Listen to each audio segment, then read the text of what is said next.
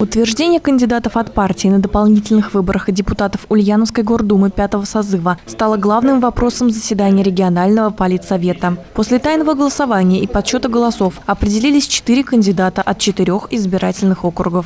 По результатам тайного голосования по 18-му одномандатному округу кандидатом э, стала Бадахова Татьяна Николаевна, по 20-му округу э, Седов Денис Константинович, по округу номер 21 Береснев Евгений Анатольевич, а по округу номер 30 Рогов Алексей Юрьевич. Я думаю, что наши кандидаты уверенно победят на этих выборах и докажут свою состоятельность в этой предвыборной гонке.